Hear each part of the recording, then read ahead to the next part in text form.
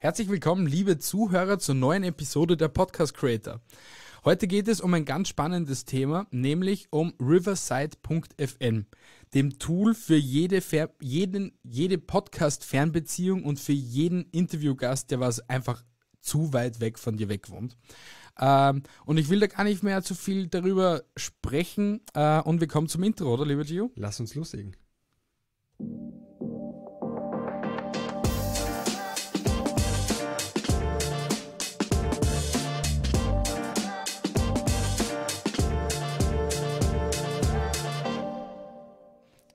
Los geht's.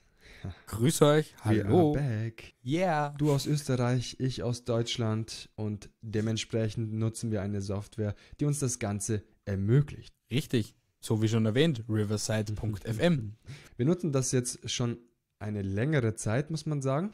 Ähm, insbesondere ich für verschiedene Interviews.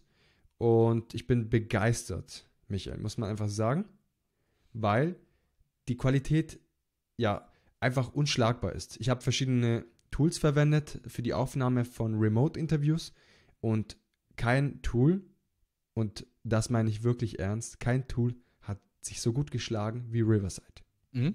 Und Michael, wir haben uns ja ein paar Punkte aufgeschrieben, die extrem wichtig sind, heute zu erwähnen für die Hörer. Ähm, und ich würde sagen, wir starten gleich los. Richtig. Ich starte schon, wie erwähnt, mit dem externen Aufnehmen, also Remote-Aufnahmen. Äh, die und ich sitzen jetzt gerade, ich in Österreich, er in Deutschland, und wir nehmen die Datei gerade in eigentlich einer ziemlich sehr guten Qualität auf und haben eigentlich nicht mehr viel Aufwand, außer die Episode zusammenzuschneiden und hochzuladen, da wir von beiden die perfekte Aufnahmequalität haben, dank Riverside. Genial, vor allem geknüpft mit einem Roadcaster, muss man sagen. Michael drückt zum Beispiel auf eine Taste, dann kommt ein Effekt, zum Beispiel. Ein Klatschen immer noch. Und der Vorteil ist, das Ganze wird über Riverside mit aufgenommen. Mhm. Und das erleichtert uns die Aufnahme der Episode und am Ende haben wir eine fertige Datei. Wir fügen diese zwei Spuren in zum Beispiel Audacity, haben wir auch in äh, ein paar Episoden besprochen, vor ein paar Episoden besprochen. Und das Ganze lässt sich dann sehr, sehr schnell quasi in einem Workflow integrieren, dass wir sehr, sehr effektiv arbeiten können. Mhm. Aber erzähl mal, wie funktioniert das mit der Audio- und Videodatei, damit sich vielleicht der Hörer gleich auskennt, äh, wie das überhaupt klappt Mhm. mit Riverside. Mhm. In erster Linie kannst du entscheiden, mit welcher Kamera man dich sieht. Das heißt, damit man eine, Audio, äh, eine Videoaufnahme durchführt. Dann kannst du auch auswählen, welches Mikrofon möchtest du verwenden und auch benutzt du Kopfhörer oder nicht.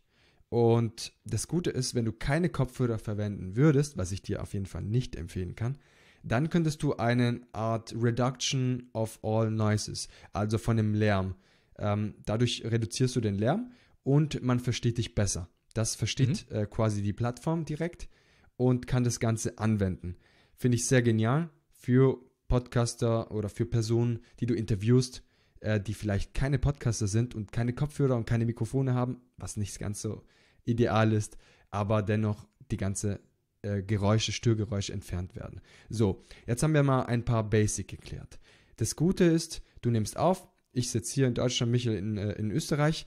Ähm, dauerhaft wird die Datei hochgeladen, äh, lokal, und dadurch gibt es keine Unterbrechungen, weil stell dir vor, du hast jetzt Internetprobleme.